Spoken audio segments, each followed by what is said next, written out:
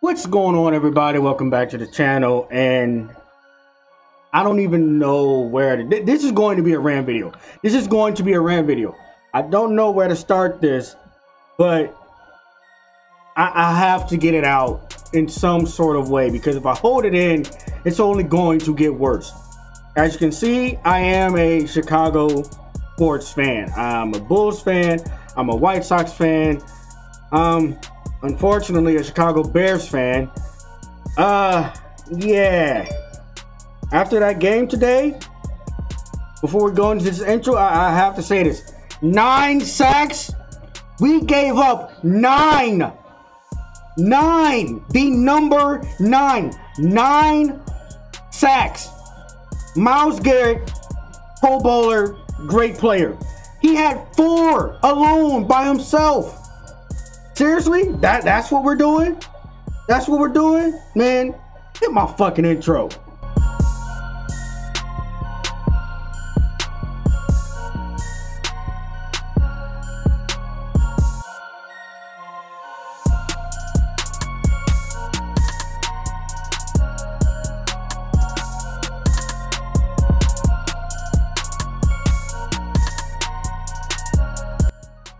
All right, so my favorite team, I was born into this thing. Uh, we lost 26 to 6. Oh, I'm looking at this correctly. Yeah, 26 to 6. I ended up getting blackout drunk probably around halftime because I knew what it was. I knew what I was watching. I, I'm gonna just get the positives out the way. The defense. Defense played well. The defense kept a good Cleveland team, Cleveland offense, held Nick Chubb and Kareem in check for three quarters. For three quarters, I believe the Browns only had what, 13? Only had 13 points through three quarters. So the defense played well. The defense played, I'm going to keep reiterating this. The defense played well until they were gassed. And you want to know why they were gassed? Because our offensive genius, aka the ball headed. Man, I almost just said something that would have got me kicked off YouTube. aka Matt Nagy, who's supposedly an offensive genius, only has our offense scoring more than has our offense scoring less than 20 points a game in 2021. Like this offense could work if it was, you know, mid 2000s, because that's how we got to the Super Bowl. Our offense wasn't shit then. In fact, the Bears' offense never has been shit. And the one time it was, we had a literally an all-time historic, historically terrible defense. So I don't even. It's like I, I don't even know what to say about that offensive game plan I just watched. Like, okay, it's one thing to know that Myles Garrett and Jadeveon Clowney are game wreckers. That's one thing. That that's expected. You look at the Browns defense, you know you are circling those two, especially Myles Garrett. It's another thing to know that and to have a game plan and don't do nothing to help your tackles or your starting uh or your starting rookie quarterback. You don't do a single rollout, a single boot, um, when it was obvious, like like like when the defense didn't expect it to happen. Um, there were like no delays. Like it, it was bad. It was like the receivers and tight ends weren't getting separation, so Justin had nowhere to go. Um, like he didn't have more than two seconds because Myles Garrett or Jadeveon Clowney was in his face the entire game. We have older tackles and they're not getting no help. At what point do you not, you know, adjust? Like at halftime should have should have been the adjustment. Matt Nagy did not adjust to what the Browns defense was doing. How do you how do you not adjust? At that point they had already had like five sacks. You don't adjust at all?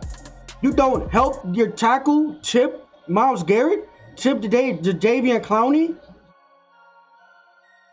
Like you do not like and, and and this is the most frustrating part they didn't run a halfback slip screen until the fourth quarter until the game was already over You don't run a halfback slip screen all game until the end of the game when your offensive line is already giving up eight sacks.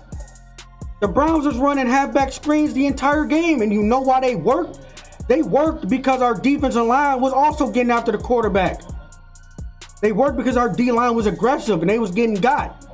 So Matt Nag Matt Nagy didn't adjust at all.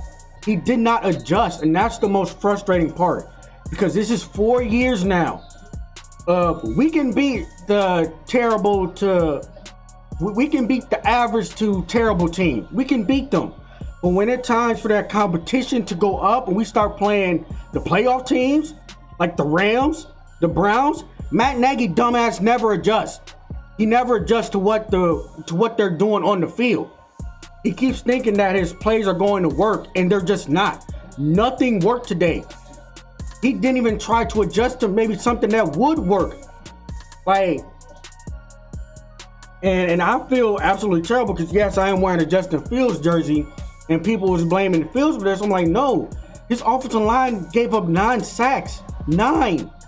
Nine. What quarterback in their right mind is playing well after getting sacked four times in one game? But nine?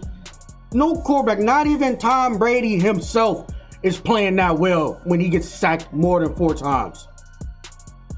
And you know, they, they were trying to run quick game, but because the pass rush was getting there so fast, you know, Fields was trying to force some throws that weren't there. Uh, but you know why they could have worked? If the receivers had got any separation, the tight ends had got any separation. Them boys was getting no separation. And if they were, the offensive line was not holding up. So, but, but really, I, I don't even know what, like, like the defense played well. The defense played well. I expected more of our offense. I expected the players around Fields to play better since it is his first start. Everybody played bad. Everybody. And you know, you know why I'm not this hard on Fields? Because he's a rookie. I know he's going to make mistakes. But our offensive line having a false start on third and one when we're trying to get in rhythm and then giving up a sack right after that, like what what are we doing here? Our receivers not even trying to, you know, fight for the ball or come back to the ball when they are open to help their quarterback out. No scramble drill. No, like it, like this whole game was bad. Like was just god awful. And I don't even know because if the Browns line was doing this, I have some serious questions about how we're going to protect Fields against the Lions. Because I swear to God, if we lose to fucking Detroit, if we lose to Detroit, I might just throw my TV out the window. I might just throw my TV out the window. Now, the only thing that will make this week hilarious for me because the Lions already lost on a uh, on a 66 yard field goal, which is hilarious. If the Vikings and Packers lose, that is the only solace I will have for this week. and I don't think Green Bay is going to lose. But I don't know, man. So, something has got to change. I, Matt Nagy's got to get fired. This is now four years of this. Four years. We had all kinds of different quarterbacks come in, and the offense is not working. And the play calling is not there. The offense isn't working. Bad offensive line or not, you can play call around a bad offensive line if they're not having a good day. But what you can't do is have two defensive ends just tee off on your quarterback and you just drop back and pass after pass after pass with no uh, rollout or no boot. Nothing to catch those ends off guard to keep them from rushing the quarterback uh, very aggressively. Just god awful play calling and a god awful game plan on the offensive side of the ball. And you know, after halftime, I was like, I was still thinking, I'm like, you know, we, we're still in this. We're not down by that much. You know, they go into halftime, they adjust. You know, we're right back in this thing. That didn't happen. There was no adjustments. There was nothing to. There was no adjustments on Matt Nagy's part, and I firmly believe we should leave him in Cleveland. He should be fired because I've had enough of this. It's been enough of this.